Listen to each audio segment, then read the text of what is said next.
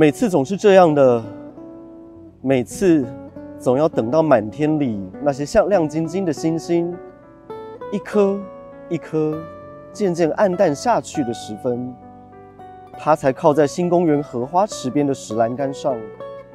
开始对我们诉说起他的那些故事来。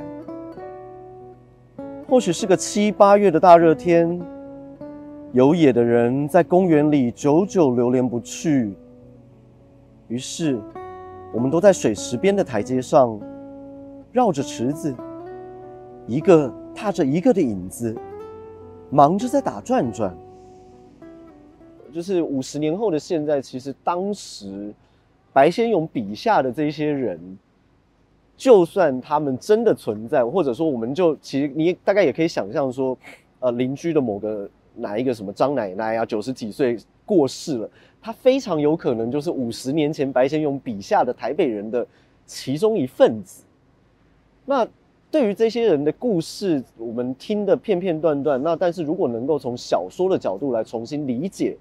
这些人的生活方式或他们的呃那些内在的矛盾，他的呃不安与自我认同的不完全，那我觉得它绝对是一个我们要重新理解呃现在的所谓。台湾意识，或者说台北这座城市的精神，我觉得这是一个非常好的读本，去试着把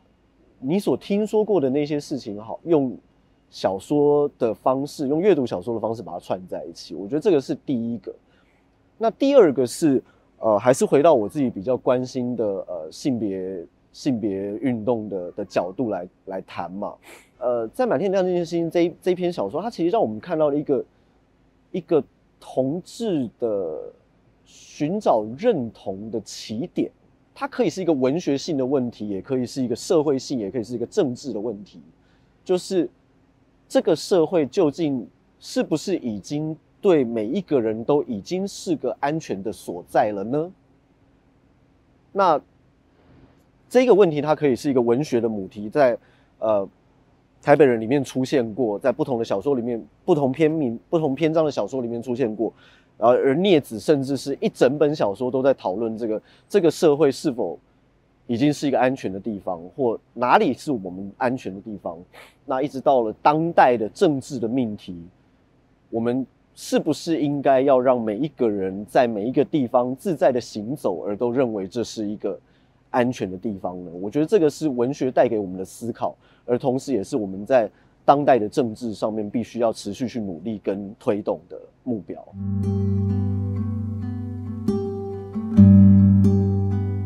满天里亮晶晶的星星这篇文章，明显它是在谈，呃，一九六零年代或许更早一点点，在呃国民政府迁台的时候。然后有一群的男同志们，他们在呃公园里，很明显的，或许他并没有写的那么的清楚，但是很明，或许就是我们现在所在的这个啊，曾经被称作新公园，而现在的二二八和平公园。那同志的社群，他们在即使或许现在还是，就是大家在那个啊生活的缝隙里面，你在一个日常生活当中不被。承认或认可的时候，你都会需要有一个，呃，属于你的社群感的所在。那但是这个社群，它在那个时代，啊，在小说里面其实也提到了，大家就是在呃，有一些人是从从上海来台，然后曾经是呃名唤一时的明星，然后呃也有一些像我们呃。可以想象的十几岁、二十岁的青春小肉体的小 gay，然后这这些人他们在这个公园里面发生了什么事情？他们在谈着自己的美貌可以怎么样的使用？他在谈着我们在嗯外貌的资本上面，我们在那些被甚至嗯如何形成一个社群的。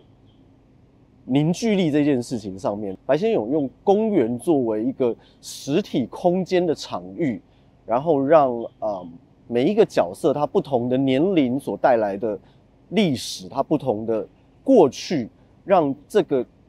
公园这个实体的空间带有了一个时间上的纵深，它可以有那种啊，你们去谈一些过去的辉煌，而也有些人想要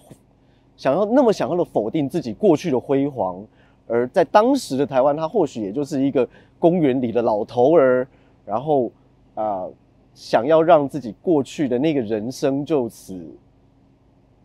死去了。你会发现在这这些这在这个故事里面，他其实谈的是一种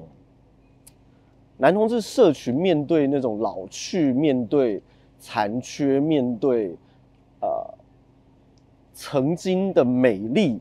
以及。你们就算今天再怎么样美丽，总有一天你还是会老去。这种种种种的焦虑，这种内在的焦虑，其实，呃，看似好像很简单，但是小说里面它又带出了一个有趣的面相，是我们这样子的人在这样子的公园里面集会，他所受到的公权力的压逼，是依然是无所不在的。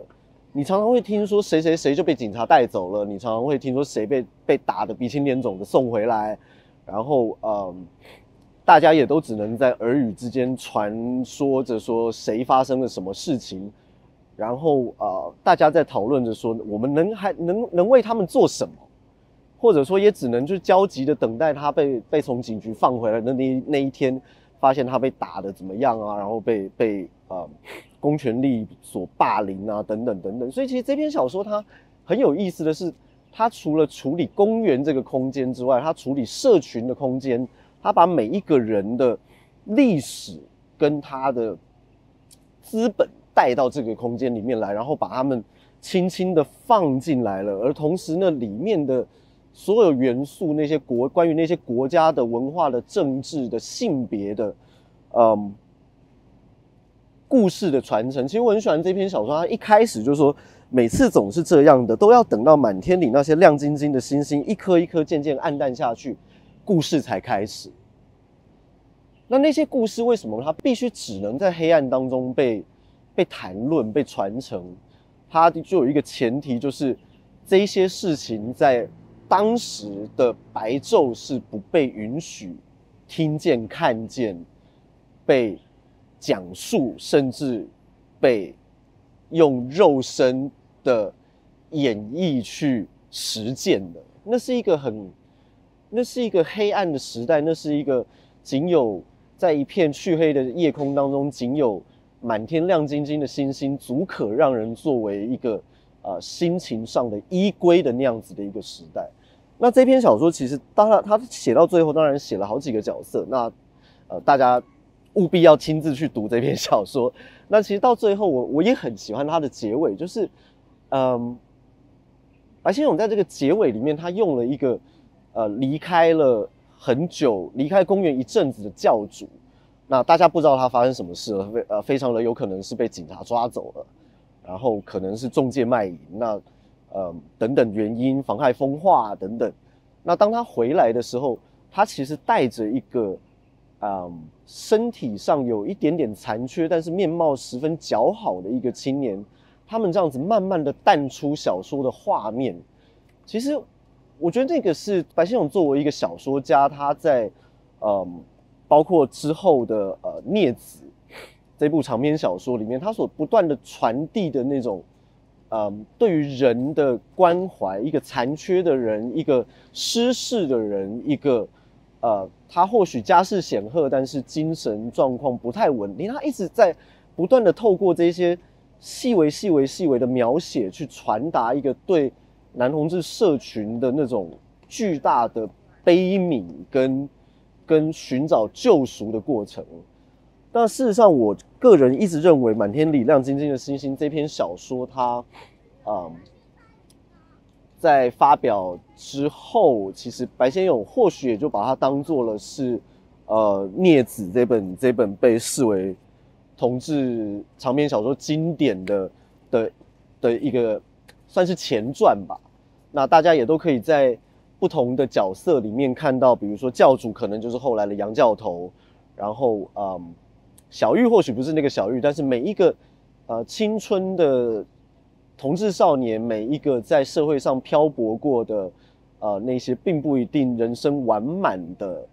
角色，其实都在《孽子》里面得到了进一步的发挥。而白先勇在《孽子》里面更温柔的一部分，就是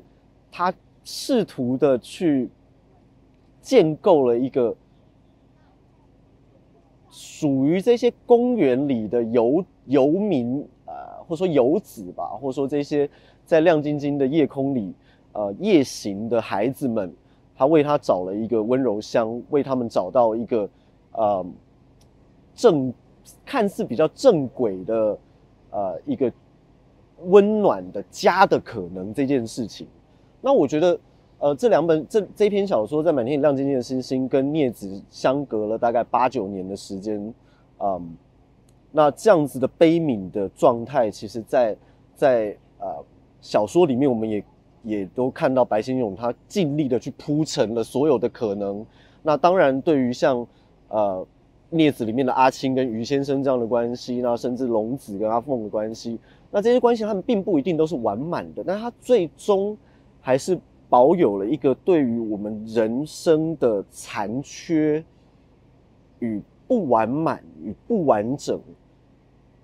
能不能够得到一个温柔的解答这件事情，嗯，我想这也是我们在过去这。三十年的同志运动里面，一直所想要，呃，企及的，就是不管每一个人是什么样子，他都已经，他都应该要被这样子温柔的对待。那小说家先于早先于我们在这么多年前，五十年前就写出了《满天亮晶晶的星星》，那在呃四十年前出版了《孽子》，嗯，那接下来三十年，其实我们所努力的，嗯，它先于我们之前展现的这样巨大的温柔。那我想。呃，我们应该也要更努力的在现实生活当中，让这样子的温柔，让这样子的包容，让这样子的支持，呃，在现实生活当中呃，慢慢实现。我想这是小说教给我们的事情。那，嗯，现实的事情就毕竟还是我们这一代人应该要去努力的吧。